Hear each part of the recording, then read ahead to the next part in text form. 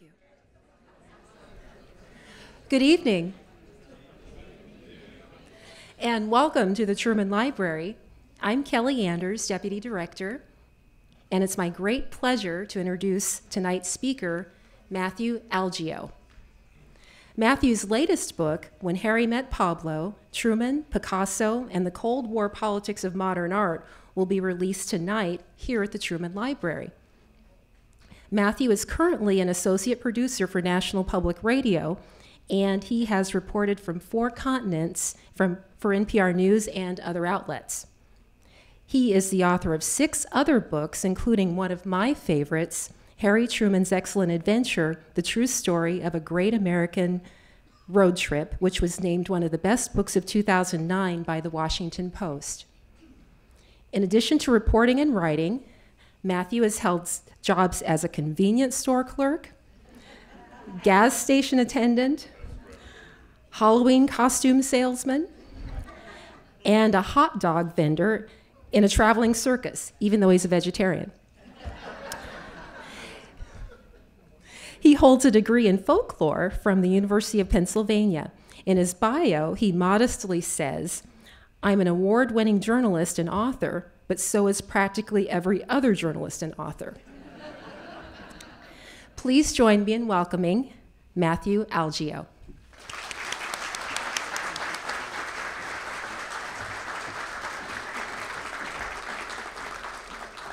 Thank you, uh, Kelly. It was all the good bits were there took most of my shtick. Um, I'm actually going to take this out for a little bit. Uh, I, I, really need to thank uh, Kelly, Azalea, Kurt, everybody at the uh, Truman Library, uh, not just for tonight, but for all the help they've given me in writing this book and in writing the earlier book, uh, Harry Truman's Excellent Adventure. It's uh, it, it's a joy to work in this space here and uh, with these people here. So I just want to say I, I, can't I can't thank them enough. And the book actually, the last book uh, I I did um, was called All, All, This Marvelous Potential about Robert Kennedy's 1968 tour of uh, Appalachia. And that book was released in March 2020, and then a, a global pandemic occurred. So fingers crossed in two weeks we will not have another global. I don't, I don't think it was my fault exactly. Um, I, uh, I, I, learned about this story, and I've been very fortunate. My, well, my wife has a real job, um, and so I'm very fortunate to be able to write these books. Uh, a lot of the time, uh, my, my wife is a foreign service officer, and so we're overseas a lot. And so it's uh, difficult sometimes, but the people at the library here have always been very helpful in emailing files, making things available to me. I really uh, appreciate that. So most of this book was written while we were in Sarajevo, um, the capital of Bosnia. And uh, we just found out our next assignment. We will be going to Botswana. Does anybody know the capital of Botswana? Gaborone. Yes, give him a free book, not mine, somebody else's.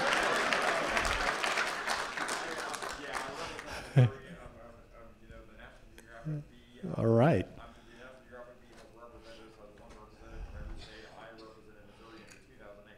So I'm not going to ask any more geography questions tonight. I think we've got that covered. Thank you. Uh, yep. Yeah, we're doing all the bees.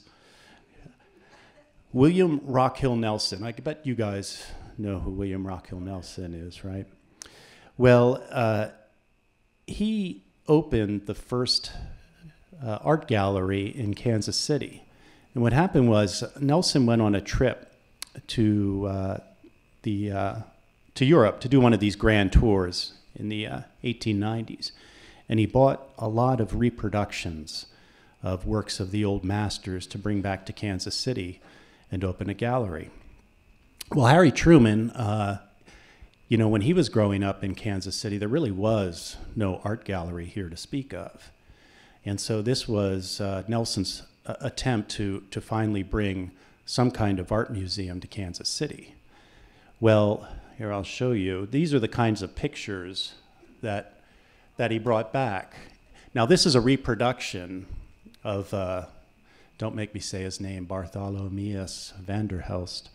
But these are the kinds of pictures that William Rockhill Nelson brought back for the Nelson Gallery, which was two rooms on the second floor of the public library. And this, I believe, was Harry Truman's first exposure to art, was pictures like this. They're very realistic, right? I mean, you can really, I mean, you can almost feel the breath when you're up close to them. And this is ginormous, it's like 12 feet across. So the Nelson Gallery was the first foray that Kansas City had into art, and really, I think, the first experience Harry Truman had with art. You know, Harry hated modern art, he hated it. But I think part of the reason was he just never really had any exposure to it um, because this was the prevailing the prevailing art at the time. It really uh, was this way everywhere in the United States at the time. Museums displayed old masters art that was realistic, that adhered to the long principles of perspective. Everything was exactly lifelike, almost a photographic reproduction of, uh, uh of, of what life is like. Now, America in the early 20th century was finally awakening to some of the trends that were occurring in Europe. And in 1905, Alfred Stieglitz, he was a photographer uh, in New York, and he opened a famous gallery there called 291. And he had a friend, Marius de Zayas. Now, Stieglitz believed that photographers should be exposed to trends in modern art. He saw photography as a kind of art in itself. Now, there's a kind of ironic twist here because while you'll see uh, visual art painting is getting less realistic and more abstract, photography is going the other way. It's becoming more lifelike. It's taking pictures of unposed pictures of people in real life, but in a same in a way they're kind of traveling the same uh, the same road. So uh, Marius de was Stieglitz's friends. He said he said um, the the Autumn Salon is occurring in uh, France in 1910. Uh, you should go find some pictures that we can show here at the gallery in New York. So Zayas goes to um, goes to Paris and he sees the work of a Spaniard. He forgets his name, but he writes a letter back to Stieglitz and says, "There's a Spaniard here who has some interesting pictures." And uh, Stieglitz says, "Well, you should go meet him." And uh, Marius de Zayas and Picasso uh, both spoke Spanish, and so they started up a, a, a friendship. And uh, de uh, convinced Picasso to lend some of his works for an exhibit at uh, the 291 Gallery. And uh, here I'll show you one. This is uh, one of the pictures that caused the most consternation when this when this exhibition opened at 291.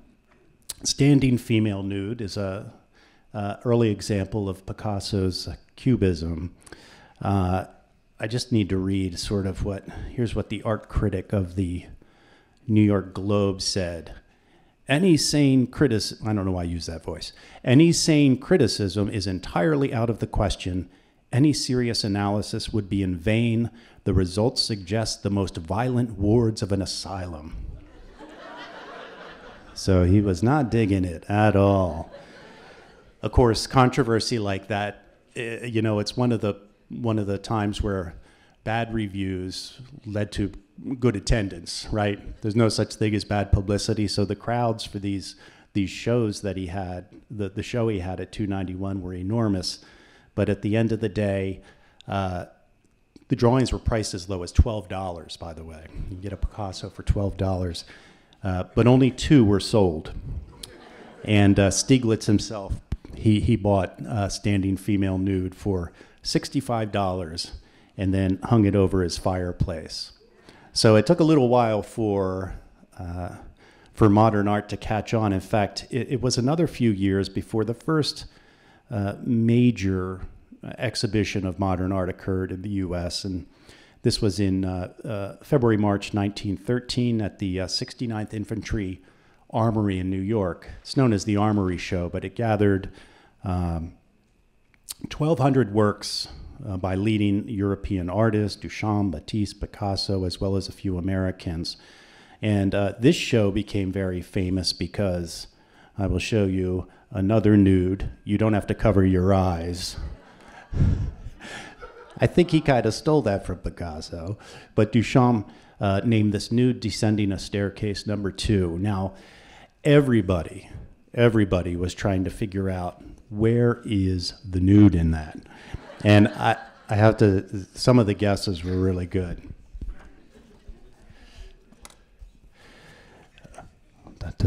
Hey, sorry, I did everything. Yes, I like this. Uh, the New York Times described it as an explosion in a shingle mill. Others described it as undressed lumber, a pack of cards in a cyclone, a riot in a lumber yard, an Omaha woodshed after a big wind, a pile of disused golf clubs, an assortment of half made leather saddles, an elevated railway station in ruins after an earthquake and a dynamited suit of Japanese armor. So everybody wanted to know where is the nude in that? And again, this, this controversy really increased uh, interest in modern art in the United States. What I found was interesting was there was actually a review of the Armory show in the Kansas City Star. They had a a freelancer in New York who wrote a review, and it was not very uh, it was not very positive. He said. You've heard of the Cubists? They're the Frenchmen who draw a hexagon and say, Isn't it a beautiful circle? and he said, New York is laughing at them. Nobody takes them seriously. And really, this was the kind of writing that I think informed Harry's opinion of art. And it was really the prevailing attitude at the time. You know, these, these, these funny pictures and uh, even a five year old could, could draw them. I'll show you the next slide just to show this was uh, a, a takeoff on it that really uh, shows you how it sort of became a, a, a meme, you know, um, before we had the word. So the reviews of the uh, Armory show were, were not great. Um, and I, I uh, there's a lot that happens in the 20s and 30s, of course, but moving ahead, the, the, the um, Museum of Modern Art is founded in 1929. And then, of course, uh, the Depression and uh, World War II intervene and really have a negative effect on the production of art for obvious reasons. And it's really after the Second World War, and of course, Harry's president now, that uh, cultural diplomacy became a catchphrase, that America was seen as a country that, you know, was uh, more concerned with money than art you know, more concerned with pennies than poems, that sort of thing. And so there was a, a diplomat at the State Department, Leroy Davidson, and he decided we're going to put together the most modern works that we can, and we're going to uh, take them abroad, and we're going to show people what freedom of expression means. And this would be in stark contrast to the prevailing art in the Soviet Union at the time, which of course was uh, Soviet realism, you know, the heroic depictions of the workers, that sort of thing. So Davidson, uh, he, he bought 117 oils and watercolors by American artists. There were two things that were unusual and ultimately controversial about the show. He called the show Advancing American Art, and the State Department bought the pictures. Now, this is unusual. Usually the pictures would be loaned. Um, but it, he, he argued that it would be much easier to stage a longer exhibition and have the government assume the cost of insurance and shipping and everything to just buy the pictures. Uh, the other unusual thing is there was no jury. Uh, Davidson himself picked the pictures. He was afraid if there was a jury, that uh, they would default to the safest works, and he did not want this to be a safe show. Um, the the the show cost uh, fifty thousand dollars for the for the pictures, which was a, a, pretty good amount of money at the time. Um, I'll show you there. This is the, this is one of the pictures from the show, which is uh, really came to symbolize the show. Yasuo Kuniyoshi, uh, circus girl resting. Well, there were other things going on in the world politically at the time. One was that Republicans were taking control of Congress back, and uh, they were looking to cut funding for the State Department, and this this uh, really became a political football. Uh, Look magazine published an article uh, titled "Your Money Bought These Paintings," and, and published pictures of the paintings, including Circus Girl resting here. Uh, uh, there's a congressman, Carl Steffens, said, "No wonder foreigners think Americans are crazy." Uh, he was the chair of the House subcommittee that funded the State Department, by the way, so his opinion mattered. He said he had received a lot of mail from constituents indignant about the exhibit. He quoted one correspondent who said the circus girl looked like a Chicago Bears tackle, taking it easy during a timeout. Steffens said his constituents objected to, quote, any inference that the typical American girl is better equipped to move a piano than to play one.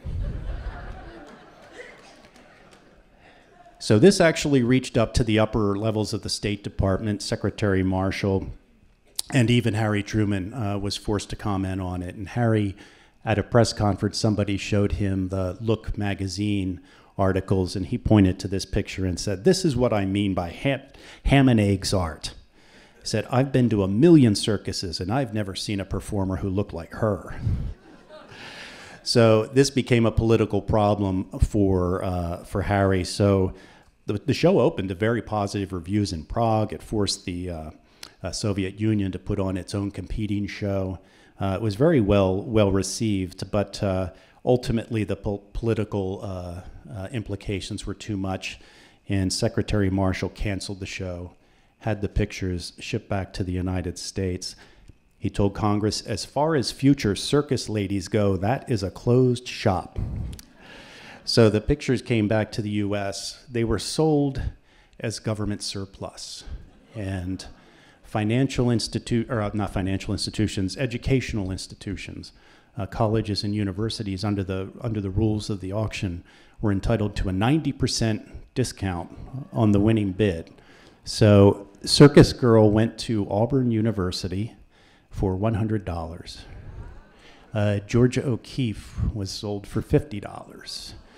So all of these pictures were sold for a fraction of, of what they were actually worth, which is, which is a shame. I just wanted to, I'm going to go to the next slide. I wanted to show the artist here, Yasuo Kuniyoshi, uh, who, who painted the picture Circus Girl Resting. And uh, little sidebar in the book uh, is his story, which I found really interesting. So he was born in Japan in 1889 when he was 16 years old, he moved to the United States. He wanted to learn English and then go back to Japan and be a translator. Uh, but he ended up in Los Angeles. He attended a public school. His teacher saw him drawing, said, "You're really good. You should, you know, take some classes." He took art classes in Los Angeles and then moved to New York and began his career as an artist. And he was a very successful artist. Uh, he was uh, one of the four Americans chosen to rep- one of four artists chosen to represent the United States at the 1952 Venice Biennale. And uh, he, he was uh, uh, one of the first artists to have a, um, have a show at MoMA. He was included in the first show of American artists at MoMA. Uh, during World War II, he was declared an enemy alien. So the, the, uh, the way citizenship laws worked at the time, um, only uh, free white f- free white people and people of African descent were eligible to become citizens. So Japanese people, people born in Japan, were not eligible to become United States citizens. So he uh, he volunteered for the, the, War Department during World War II, helped write uh, Japanese propaganda, radio broadcasts, posters, etc. In 1952, the um, Immigration Act of 1952 finally lifted race based restrictions.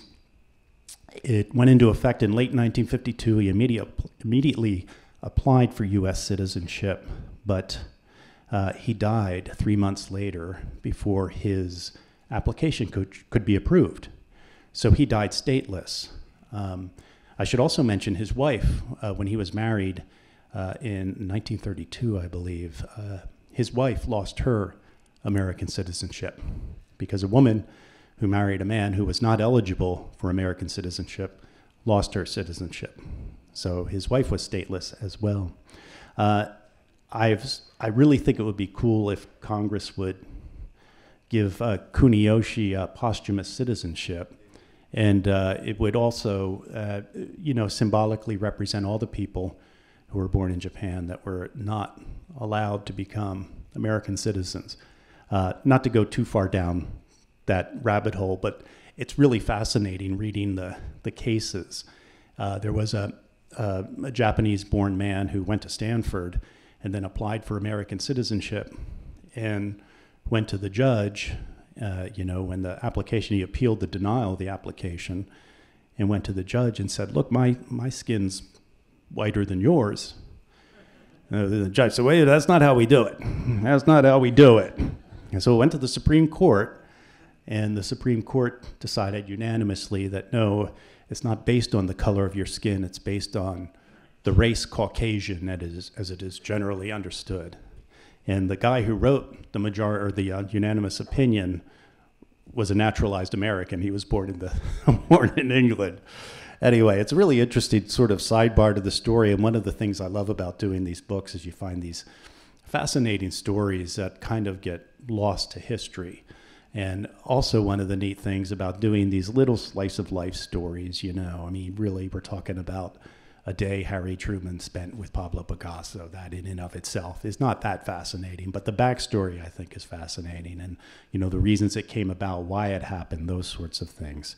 Uh, I'm going to go to the next slide and show you. This is Harry's kind of art. At the time, the whole American advancing American art controversy was going on. Uh, Truman went ahead and spent, I think this was like ten thousand dollars to buy this painting for the White House and uh, that is uh, is that Charlie Ross? Yeah, uh, his uh, press secretary pointing it out. It's called "The Peacemakers" by George Peter Alexander Healy, and it shows Sherman Grant Lincoln and Admiral David Porter. And uh, this this I thought was interesting that in the midst of the controversy over Circus Girl resting, Truman bought this picture for the White House. So it's definitely indicative of where he was coming from. Now, I have to say, Harry, despite his dislike of modern art, he was not in favor of censoring modern art or you know cutting fundings to museums. There was a movement in the United States, especially in the House of Representatives in the 1950s, led by a congressman from Michigan, George Dondero, who for some reason had a bitter opposition to modern art. And a lot of people on the right at the time associated modern art with communism. A lot of the people who were modern artists, you know, had funny sounding names. Uh, so they were immediately suspect.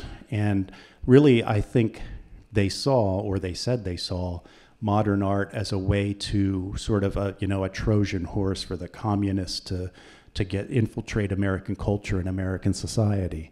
Um, and, and so there was really a, throughout the 50s this kind of uh, a, a backlash against modern art. Truman didn't like modern art, but he saw modern art had value. And I think he also appreciated the propaganda value of modern art abroad. I don't think he fought for advancing American art because he just he it, it, was boy this guy had a lot on its table, right? You know, 1946, 1947 Marshall Plan, we're rebuilding Europe this was not a fight that Harry wanted to fight. But I really think he believed that there was a value in modern art. And it's interesting to note that the CIA in 1950 started a program. Uh, they had a front, the Congress, Congress of Cultural uh, Freedom, was it? They did this front organization that put on modern art shows all over Europe. And uh, it was all funded, of course, by taxpayers through the CIA and that began during Truman's second term. So I was never able to establish whether Truman knew about this CIA modern art program, but I thought it was interesting that that it occurred during his uh, during his second term. Okay, let's get to 1958. So Harry and Bess are out of the out of the White House now for five years. And uh, Harry still doesn't have a pension, still doesn't have Social Security, um, Secret Service. Um, I don't think he got Social Security either, did he? Uh, did he? Did he? Okay. Oh, that's right. Yes, and he got the Army pension too. Um, so it was a couple hundred dollars a month, I think. But he decided in 1958 that he was going to go on a cruise, a Mediter- Mediterranean cruise. And uh, the, I, the, the woman who owned the cruise company was the widow of a former his former ambassador to Norway, so they got comped the tickets. They didn't have to pay for the tickets. But uh, they decided to go on a cruise with their friends, um, Sam and Dorothy Rosenman. This is another one of those interesting stories. Sam Rosenman was FDR's White House counsel, and uh, then he was Truman's White House counsel. And then he kind of stayed on as Truman's uh, post presidential advisor, really. He was his lawyer, and he had advised him on the negotiating the book deals and everything like that. So, two, re- two retired couples are going to go on this cruise. Um, and they decide they are going to do a Mediterranean cruise. So, they'll go to Italy and France. Well, when Alfred Barr, who was the founding director of the Museum of Modern Art, found out that Harry Truman was going to be in southern France, he thought, well, now I will finally convince him of the wonders of modern art. Alfred Barr, uh, another incredible, amazing figure in American art history, in American history, really. Uh, 1929 was the founding director of the Museum of Modern Art in New York. And he had long, especially when this controversy about advancing American art and Circus Girl Resting came up, he had uh, sent Truman a book about modern art, trying to convince him uh, that there was value in it. And Truman sent him a very nice note back saying, um, I appreciate you trying to convert me to the modern viewpoint, but you won't. but Alfred Barr never gave up trying to convince Harry Truman about the merits of modern art. And when he heard that Truman uh, would be in the south of France, he decided, well, why don't we have Pablo Picasso convince him about the merits of modern art? And so Barr learned through a chain of uh, a, uh, uh, sort of a game of telephone. Sam Rosenman was a law partner with Ralph Colin, who was on the board at MoMA, and that's how Alfred Barr heard that the Trumans were going to France. And so he decided to set up this meeting between Truman and Picasso. And I think it's really one of the one of the best uh, uh, diplomacy uh, acts of diplomacy uh, that you could ever imagine, convincing these two people with very different personalities and political viewpoints and philosophies uh, to get together. Uh, how he did it was pretty simple. He convinced Picasso that Truman really wanted to, to meet him, and he convinced Truman that Picasso really wanted to meet him. And I'll show you here. This is the uh, this is kind of cool. This is the letter of introduction uh, that uh, I found. Uh, actually, I believe it's in the in the papers here. But the letter of introduction that Alfred Barr wrote for Truman uh, to give to Picasso. Very rarely do I agree to give letters of introduction to you because I know how distracting visitors can be. Yet I believe that you would be very pleased indeed to receive the two gentlemen to whom I have given this letter.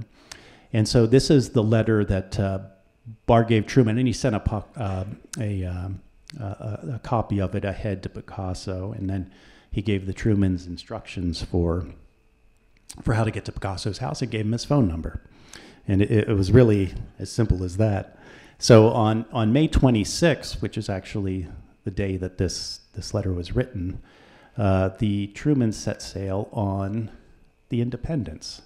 So the SS Independence is the ship that they sailed uh, to, uh, to Europe. They were, uh, went to Naples uh, and, and, then Genoa. They just did a night in Naples, I think, and then a night in Genoa.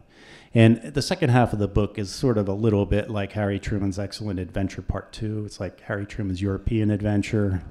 Um, so he, you know, he's always getting into these crazy, you know, crazy scenarios and everything.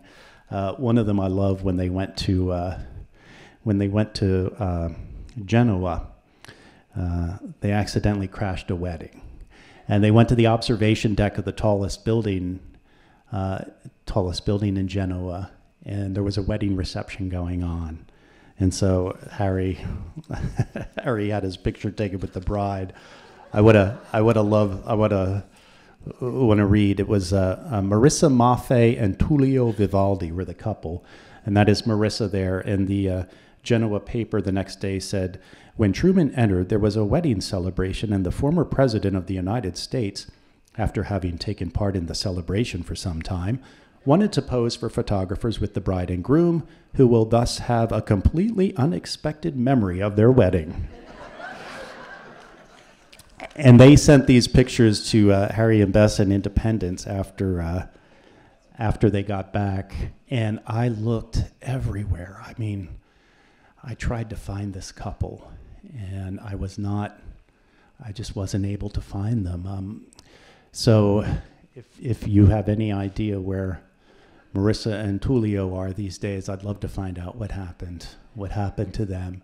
And really interesting too that they're getting married at a time. Uh, Italy's economy is just exploding. I mean, it was a great time to, you know, to be in Italy and uh, to grow up there, to be married there, and start a family there. Uh, there was another interesting incident after Harry went to uh, Cannes. Uh, they stayed at the uh, Chateau Saint Martin, which is in Vence, a small town where the Matisse Chapel is today. And it's a, it's a pretty high end, it's still there, high end resort hotel. so my wife and I stayed there for a couple days, tax deductible, didn't have to pay. So research costs, research and um, and and then from there they would go out. Uh, the the hotel supplied a driver, and uh, would would drive them sightseeing and stuff. But they were in uh, Monaco. They were having coffee in Monaco, and uh, again the the archivists here. I, I, don't even remember who it was when they knew, found out I was doing this researching this particular trip. Uh, came, oh, here's a letter somebody wrote about who saw him on this trip and it was a letter from uh, Robert Carlone was his name, and he was an Air Force captain. And he told this story about his his father came to visit him. He was stationed in Spain at the time. His father was Italian and had never been back home, so he flew to Spain uh, to see his son and and his son's family, and then they would drive from Spain to Italy to see his see his family for the first time since he had left home like 40 or 50 years earlier. But um, by the time when they got to Monaco, the father wasn't feeling well. And so he laid down to take a nap in the hotel. And when Robert went to wake his father up, the father had passed away. So it's Saturday. Uh, they're in Monaco, and he alerts the authorities. And they say, well, the, uh, the undertaker is out of town until Monday uh, you can you can just keep him there in the room. and the hotel was not air conditioned either, and so uh, Robert Carlone uh, explained in this letter that he had sent to the library that he decided to walk know, walk to the American consulate and see if he could get any help.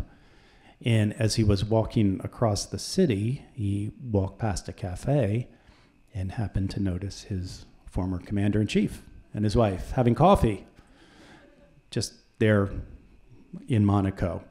And so he uh, stopped and introduced himself and explained the situation to uh, to former President Truman. And uh, Harry said, "Do you have a notebook or pen or paper or something?" And so Carlone then gave him uh, paper and pad, and this is the note that Truman wrote. Honorable Harold Mosley, he was the U.S. consul. This will introduce Captain Robert A. Carlone. His father has just passed away. He needs some doors opened. Please help him. Harry Truman, June 14th. Yes, that's pretty cool. I mean, it's a terrible, tragic life event. Um, but uh, effusive uh, Robert was in his in his thanks for the expressing his gratitude to uh, Harry because he said if you he walked up, you know, to the consulate and handed this note and everything everything got fixed. They found a, they, they, they found a, a, uh, a, a, funeral home that was able to take care of things. So it was just one of those interesting slices of life, you know, and death, I guess, that happened on the trip. So uh, Harry and uh, Harry and Bess and Sam and Dorothy then uh, were on the morning that they were to meet Picasso. They were having breakfast at the hotel, and then Harry got up uh, to go inside for a minute, and the other three started quickly having a conversation, saying, "Should we really go to see Picasso? Because Harry doesn't like modern art." And uh, Harry, they came when Harry came back to the table. They they asked him, you know, "Are you sure you want to do this?" And he said, I'll behave. He said, He's the most famous artist in the world. I want to meet him. And so they went to Picasso's home in, uh, in the hills above Cannes and had lunch. And most of these come from uh, Dorothy Rosenman, fortunately, wrote her recollections of the, of the events. And after lunch, and I don't want to give away too much. You got to buy the book. I mean, there's a lot of really, really good stories in the book. But there is a point. There's a point during uh, when Picasso's showing, showing Truman around. Picasso was kind of a weird dude, and uh, the house was a mess. And he had a he had a pet goat named Esmeralda, and uh, he liked to do statues of the goat. He had a lot of very funky paintings of the goat. And Esmeralda was allowed in the house. She could go anywhere she wanted. And at one point, Harry, uh, Harry said to Picasso, uh, Esmeralda was out on the lawn and said, and there was a picture of her, like an abstract picture of her on the wall. And Harry said, You mean to tell me you took that beautiful animal and turned it into this? now, Harry said Picasso just turned and, and, and walked away. But I, I don't think Picasso did that. I think Picasso probably confronted him a little bit. Picasso would love to tell the story about how GIs after the war uh, would come to his studio in Paris and he'd show them around. And, you know, he said some of them got it, some of them didn't. And, you know, he would show a picture maybe of Esmeralda, and the guy, you know, the GI would say, well, that doesn't really look like a goat. Uh, but then Picasso would ask to see a picture of the GI's wife or his girlfriend. And he would pull a tiny little picture out of his wallet, and Picasso would go, Oh, but she's so small. like, no, this is just a picture. She's not really that small. So you're like, okay. So that, that's one way that Picasso, uh, Picasso made his point. So after they went, after they had lunch, uh, this is the famous picture of uh, Harry and, and Pablo shaking hands in front of his studio. They just, uh, they were only meant to have lunch, but Picasso apparently enjoyed the company so much that he offered to take the Trumans on a little tour of the south of France, taking, taking them to some of his favorite spots, which were all about him. Uh, so went to his studio, uh, went to the museum in Grimaldi where uh, a lot of his works were kept. And uh, this, this fortunately, I believe Sam Rosenman took this picture. Sam uh, had a had a had a camera, and made uh, slides, and so he took uh, a lot of pictures on the trip. I actually uh, wanted to find out, like, okay, if we could, if I can find Sam and Dorothy Rosenman's children or his grandchildren, you know, maybe they have some information about the trip.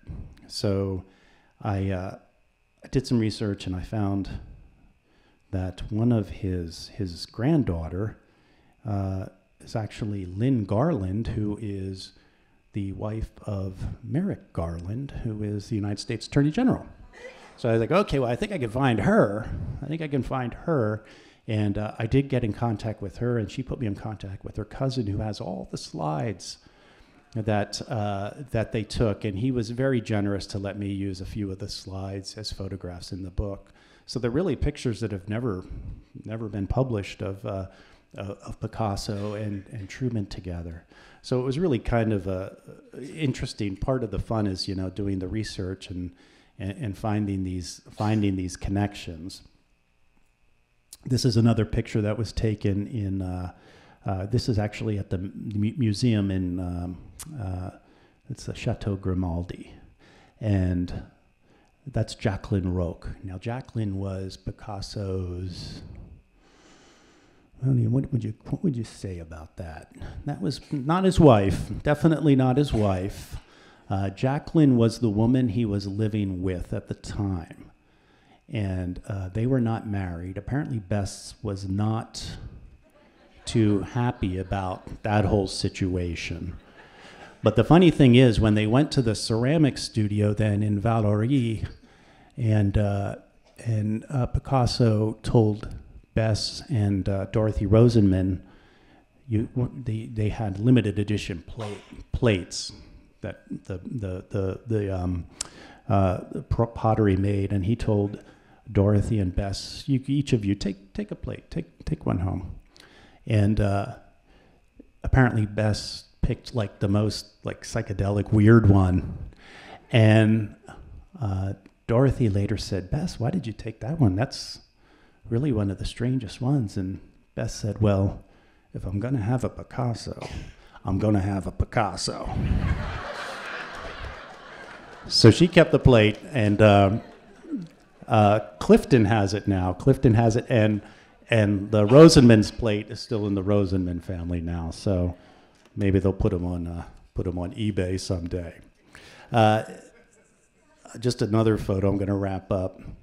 Uh, this was the trip home, and I just love this photograph. One of the cool things was uh, the in the in the Truman papers they saved all their uh, menus and programs, everything from the trip. There's like three thick files of the 1958 Europe trip, and uh, in there they had the passenger manifests for both the Independence and the Constitution, which was the ship they took home.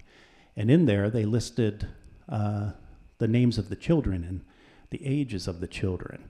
So, what I did is I tried to track down some of the kids who were on the boat that remembered uh, meeting Harry. And this is, this is one of the families that uh, I was able to track down. It's the Hoose family, H O O S E. And uh, they, the picture, I guess, is available uh, this was their copy of it. Uh, so it's Linda and Frank Hoose Jr. with Harry during a lifeboat drill on the Constitution.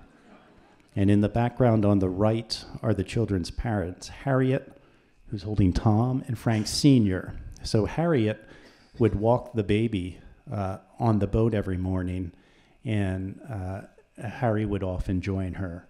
So the, the mother and uh, Truman had struck up a friendship on the boat because Harry, of course, loved his morning walks, and he maintained that even when he was on the on the ship at sea. I just want to show one more, just showing off a little bit. There we go. I'm wearing the same shirt. That's my one good shirt. My one good shirt. So I, I was able to go down to uh, uh, Auburn uh, last uh, last fall, and uh, I kind of have a crush on her. She was in storage, but they brought her they brought her out so so I could see her. So she's still in good shape. She actually got stolen. Uh, kids, well, presumably kids stole it, uh, stole the painting in I think '65 or '66, and uh, basically the police chief said, first of all, it's like one of the most famous paintings in, you know, just it had been 10 years since it was in all the papers. And the police chief said, uh, just leave it at the football stadium if you took it. And they went the next day and there it was. So I guess they learned their lesson. So she's back safe now, back safe in Auburn. I, I believe she's. I believe she's on display uh, back back in the gallery, which is good to see too. And uh, that's oh, you know, those are some blurbs I got for the for the book. I think I think we have just a couple minutes for questions. I went longer than I thought. If anybody has any questions, we can we can do. You don't have to. Sure.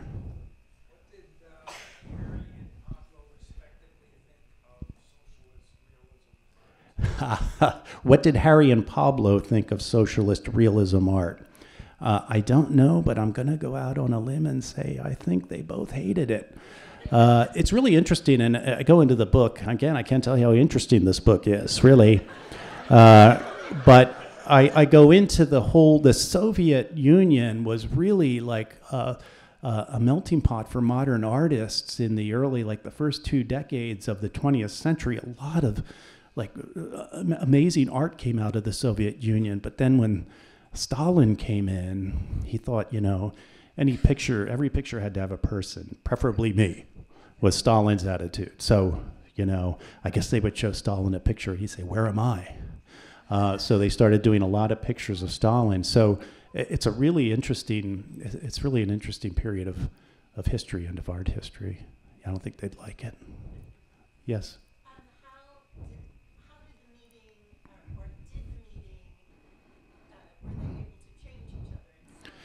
So, uh, how did the meeting go? Were they able to change each other? Right. Well, again, I, I defer to the book. Um, but I, I, I know, I, I will say this when, when Harry uh, said that he had uh, met with Picasso, he told reporters on the boat home about the meeting. And the reporters asked him, said, Are you, are you going to invite Picasso to the United States? And Harry said, We do not invite communists to the United States. There was also a, there's also a good story in there. There was a, a, a guy who was a, a, a professor at Roosevelt University in Chicago, and he heard Truman was going to meet with Picasso, and he wanted Picasso to, to paint a mural at Roosevelt University in Chicago.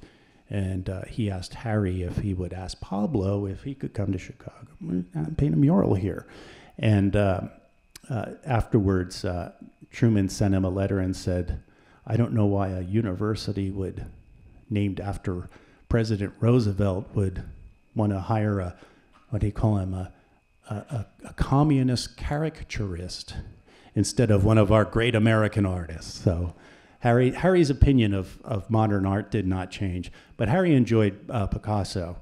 Um, he said he had a good time. He said it was a lot of fun. He said, short, bald guy, a lot of fun. Um, it's not that much shorter than. This, by the way, was taken in front of the uh, his ceramic studio, which has been abandoned and is behind fences and barbed wire, and they're trying to get the money to to restore it. So hopefully that'll happen. Yes. Yes. Yes. Yeah, so the road trip that Harry and Bess took that I wrote about so well. he uh, about what? I'm sorry. Right, right, right. Yeah. So the question is Harry took this road trip in 53 and didn't think people would recognize him. I think by 58, he, he, he, he was a little more prepared for that. And in fact, uh, he had worked with the State Department. Uh, the president travels on a diplomatic passport, so protocol is that you always advise uh, the consulate or embassy in the city you're going to. So there was advance notice of this. It wasn't like he was um, trying to trying to go incog, like he said on the first trip. In fact, it's interesting. Uh, another cool thing they did for me here, they brought out his passport that he used for this trip. And one of the interesting things about it is Bess is on it. Bess didn't get her own passport. She's on the amendments page, and uh, I have uh, pictures pictures of the passport uh, in the book. But generally, uh, at the time, husbands and wives would have a single passport. Yes, one more. No, there was no. Uh, the question is, was there? You know, you didn't see any Secret Service, and there was no Secret Service on this trip. That didn't come in until after the Kennedy uh, assassination in '63. So they had no security to speak of. Although it was a little bit like Harry Truman's Excellent Adventure, when the mayor of these towns would hear that Harry Truman was there, they would send somebody just to keep an eye on him. Like, don't let him die here. yes. One more.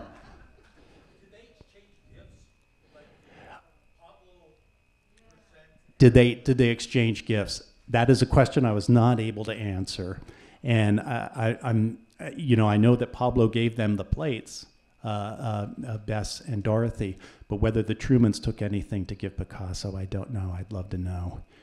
I guess you know if I if I see Harry in the hereafter, I'm going to ask him that, and he's going to say, "Why the hell do you want to know that?"